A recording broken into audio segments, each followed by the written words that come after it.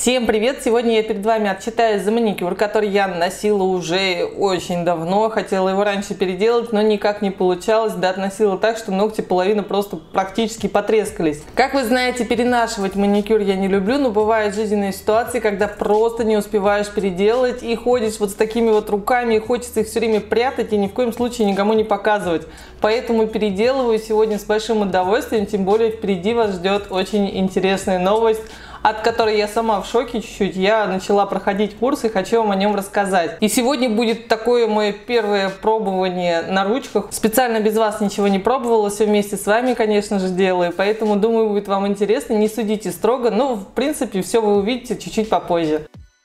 Снимаем маникюр очень аккуратно. Конечно же, есть отслойки, потому что переношенные ногти есть переношенные. Там что только может не завестись, и всегда я снимаю их с опаской. Лучше, конечно же, не рисковать и переделывать через 3 недели максимум, но, как видите, месяц-то я относила точно. Если считать, что у меня еще вдобавок слоятся безумно ногти, я не знаю, что с ними делать. Скорее всего, будем с вами укреплять гелем или полигелем в следующий раз, потому что мне уже самой надоело, что они у меня все время ломаются. Причем не материал отходит, а именно ногти расслаиваются. Это видно, когда спиливаешь покрытие, как будто бы оно отслоилось, на самом деле отслоилось вместе с ногтем.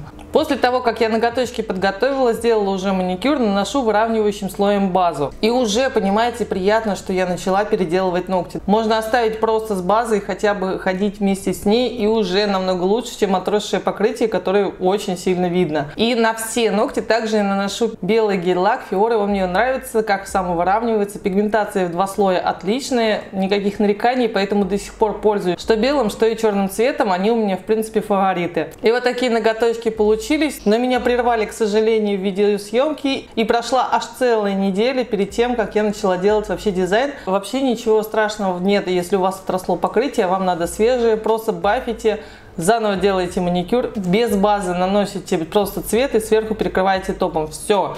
Носиться у вас будет замечательно. Вот такой способ вполне меня спасает. И теперь хочу вам рассказать про курс, который прохожу до сих пор. Мне он безумно понравился, и я хочу с вами поделиться впечатлениями. Это курс акварели на бумаге, и на самом деле на сайте очень большой выбор курсов, там каких только нет.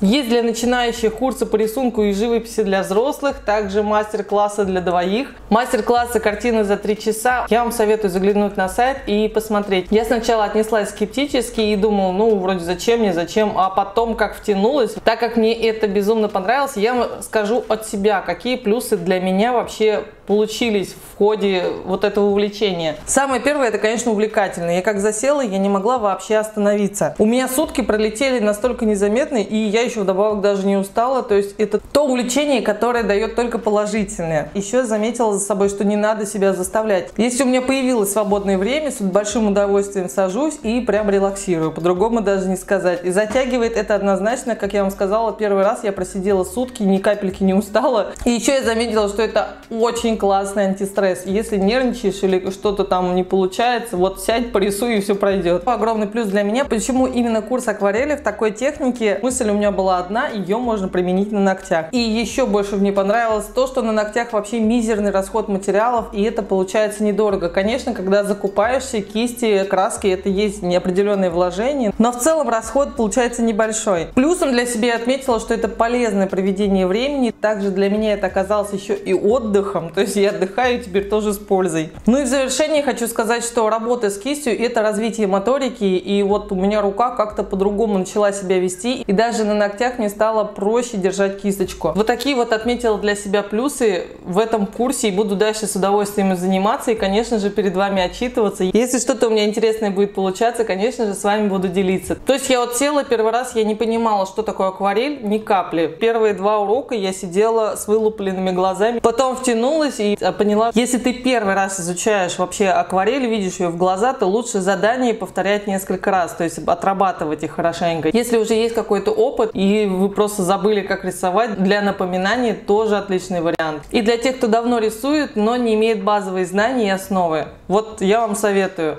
И вообще это увлечение подходит для всей семьи. Я думаю, девочки, вы оцените, если любите тем более рисовать и в такой технике еще не пробовали, советую попробовать. Также от сайта для моих подписчиков действует скидка 10%. Я оставлю промокод и ссылку под видео. Надеюсь, вам она пригодится. Ну а мы с вами продолжаем смотреть на мои обновленные ноготочки спустя неделю. И для того, чтобы использовать акварель на ногтях, я покрываю их матовым топом. Мой страх больше всего, конечно же, был в том, что она не будет сохнуть на ногтях так же быстро, как на бумаге. А все из-за того, что там в составе получается вода, вы же водой ее разбавляете. Но это опасение вообще напрасно, отлично она сохнет. И забегая вперед, скажу, что даже топом не смазывается совсем, что я тоже очень сильно боялась.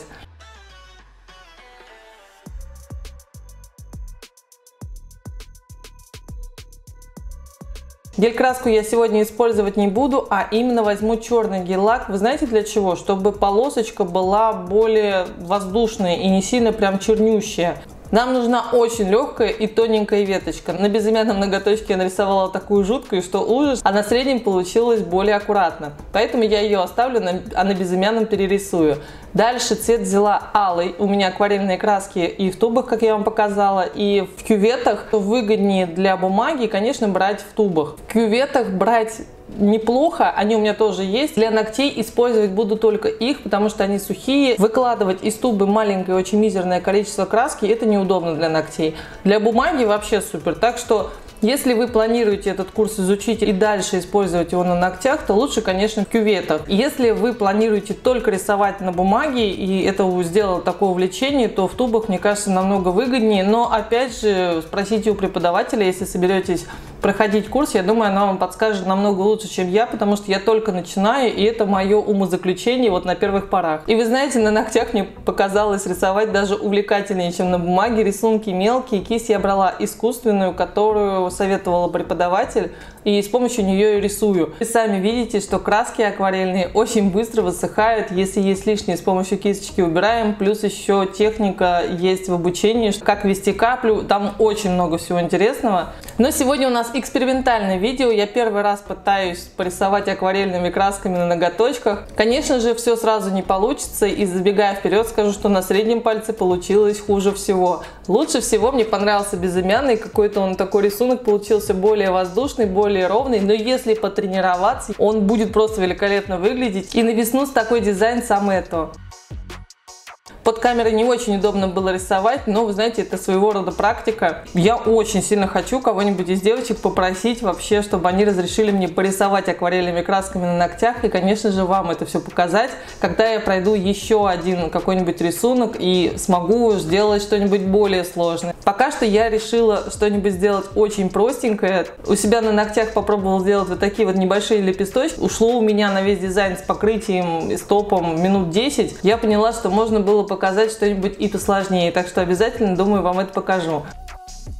Решила я испортить свой рисунок тем, что мне вот показалось многослойное, что-то прям интересно будет. На самом деле, вот эти веточки, как они в первоначальном варианте были, надо было и оставить. Смотрелись они нежно и красиво. Но сегодня у нас день экспериментов, поэтому мы делаем все возможное, что с ними можно начудить. Ну и заключительный этап, это, конечно же, топ. Я прям с боязнью его наносила, боялась, что сейчас раз и как стемпинг какой-нибудь потянется за кисточкой, но ничего подобного, все замечательно перекрылось, не растворилось растворилась, высушилась и прекрасно носится. Но на этом мои эксперименты не закончились. Захотелось мне попробовать сделать цветок, которого, ну, вообще, я не знаю, наверное, его не существует. Я не хотела этот отрезок видео вообще вам выкладывать, но решила, что надо, так как опыт это хорошо, тем более, если вы видите ошибки, то для себя вы их отметите и такие же не совершите.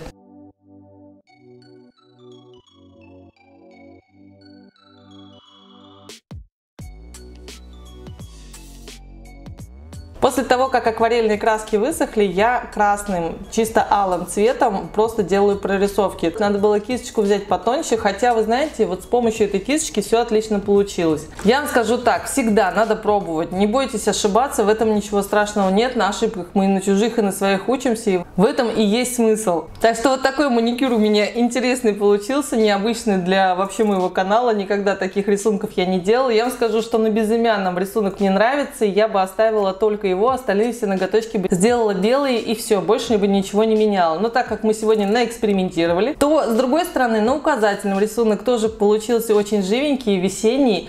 И можно его оставить вместе с белым цветом, тоже только его один и больше не добавлять. На среднем, по-хорошему, конечно же, надо было бы рисунок спилить, но этого делать не буду. Буду сравнивать и понимать, какие ошибки наделала и почему так получилось неровно. А на этом все. Спасибо вам большое за просмотр, спасибо за внимание. Надеюсь, вам видео понравилось. Желаю вам всего самого наилучшего. Ну и, конечно же, здоровых и красивых ноготочков. Пока-пока!